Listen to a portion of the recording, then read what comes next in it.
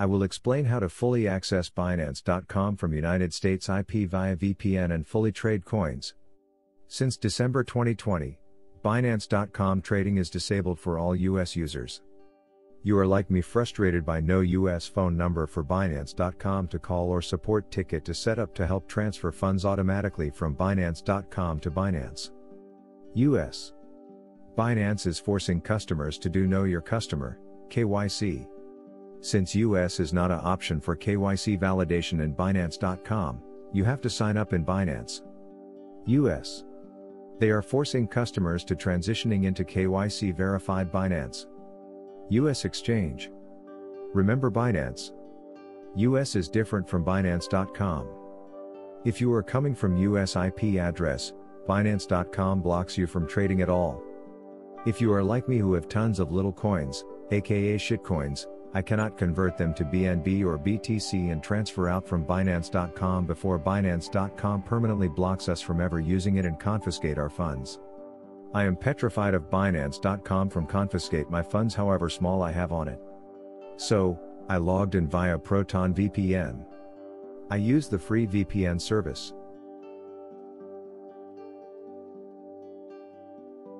If you need a quick tutorial of Proton VPN free service sign up below please comment below and I will make a video of it. I picked in the map section a Japanese connection. I connected via Japanese server. After connection is fully active then I went to Binance.com via browser and logged in. Now Binance.com thinks I am a Japanese user and does not block me from trading cryptocurrencies normally as before. I am using this setup to convert all my coins into BNB and transfer out from it. You can use the convert small balance to BNB function if you are like me that have tons of small coins. You can convert all small coins at once to BNB. You can use that function once every 6 hours per Binance.com.